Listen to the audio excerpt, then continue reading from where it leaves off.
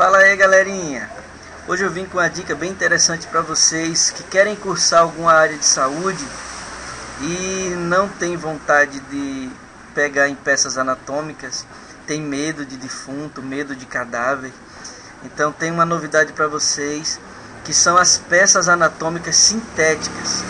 Então para você que não gosta de cheiro de formol, que tem medo de cadáver, a opção interessante é essa e muitas das faculdades já estão aderindo a esse sistema, né, até mesmo pela facilidade de encontrar as peças e por também preservar é, o bem-estar do aluno. Então deixa eu mostrar aqui para vocês como é que são essas peças anatômicas.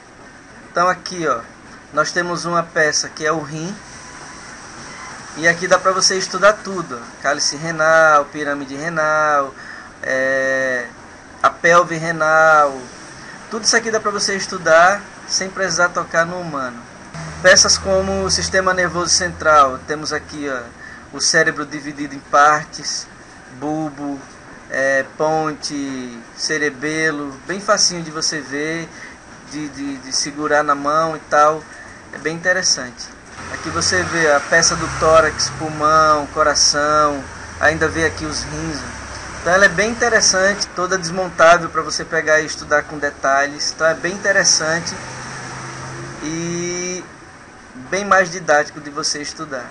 Temos mais uma peça aqui, ó, sistema urinário, reprodutor, aqui ânus, testículos, pênis, é, bexiga, próstata.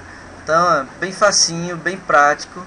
Então é isso, galera. Para vocês que têm medo de cadáver, tá aí uma opção para vocês. Tá? Espero ter ajudado. Compartilhe aí com seus amigos. É, se gostou, dá um joinha. Se não gostou, dá um dislike, não tem problema. E não se esqueça de se inscrever no canal, que sempre, sempre tem alguma informação interessante para vocês. Tá joia? Um abraço e até a próxima.